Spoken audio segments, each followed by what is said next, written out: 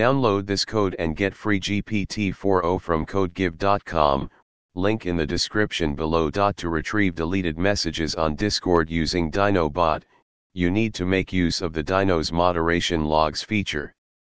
This feature logs various actions taken within the server, including message deletions. Here's a step-by-step -step guide on how to view deleted messages with DynoBot. 1. Ensure DynoBot is installed, make sure DynoBot is added to your Discord server.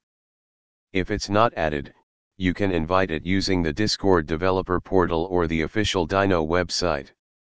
To Check Dyno's logging settings, verify that message deletion logging is enabled in Dyno's settings.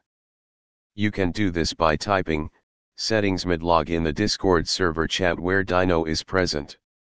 If message deletion logging is not enabled, you may need to turn it on using the command, settings modlog channel channel name. 3. View deleted messages, once the moderation log is set up, you can view deleted messages by using the command, modlog member name in the Discord server chat. This command will display a list of recent actions taken by or on the specified member, including message deletions. 4. optional, you can also specify a time frame or a specific action type to narrow down the search results. For example, modlog member name messages deleted will specifically show deleted messages by the specified member.